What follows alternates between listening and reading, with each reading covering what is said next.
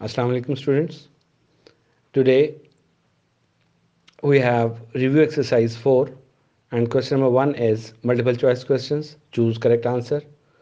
So you have to select correct answer from the given four options.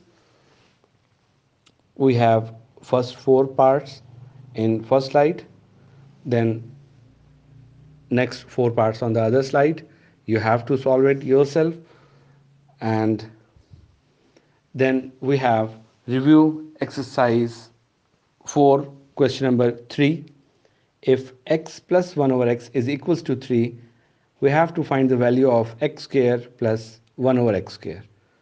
So taking square on both sides x plus 1 over x whole square is equals to 3 square. And the left hand side is an identity. So you expand it x square plus 1 over x square plus 2 is equals to 3 square is 9 so taking 2 to other side and uh, it will subtract over there that becomes 9 minus 2 is equals to 7 so you have x square plus 1 over x square is equals to 7 then in part 4 question number 4 we have x minus 1 over x is equals to 2 and find the value of x square plus 1 over x square. Again same thing.